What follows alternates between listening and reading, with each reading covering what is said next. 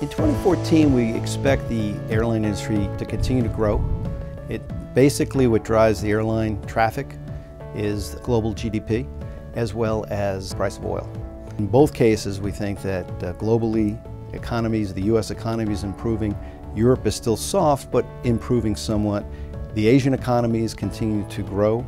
So GDP overall is positive. Expect traffic to grow in, in 2014. Jet fuel is the highest expense that the airlines have. It's driven by the price of oil, obviously.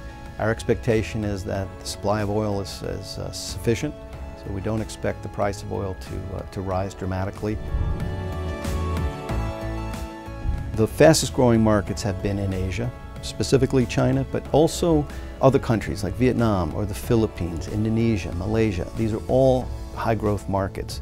We've also seen a lot of growth in Latin America. Interestingly enough, one market where we see a tremendous amount of opportunities in the United States. It's not an emerging market, but it's a market that for the last 10 years, the airlines have been more involved in fixing their balance sheets and consolidation, and now it's time for those airlines to refleet. So we see a great opportunity to add aircraft in the United States.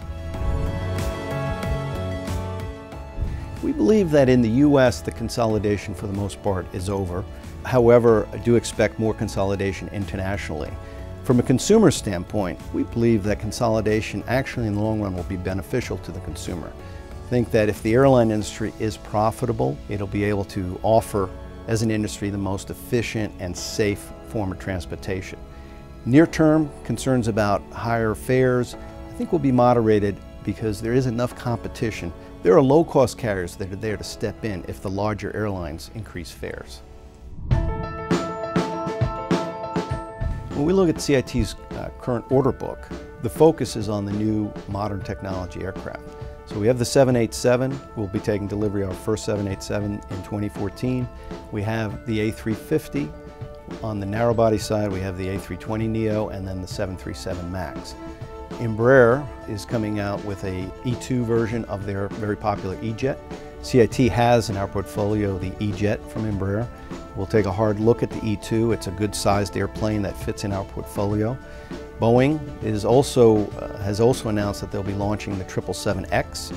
That's going to be a large, wide body, long haul aircraft which we think will be very, very successful in the marketplace as well.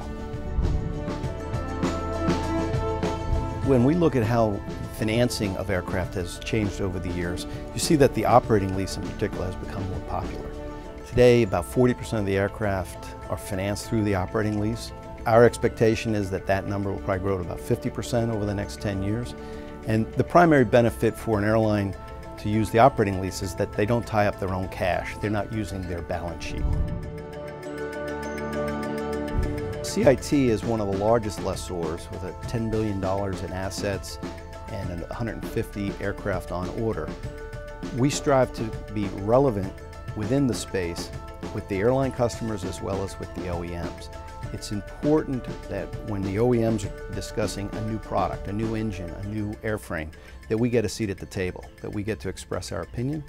And with the airlines, it's also important they understand that we have the products that they need, whether it's brand new aircraft, it could be bank debt, it could be a sale leaseback of their existing portfolio. CIT is unique in that we are able to offer multiple products. So we believe this gives us a unique opportunity to put our knowledge to work in the United States and abroad.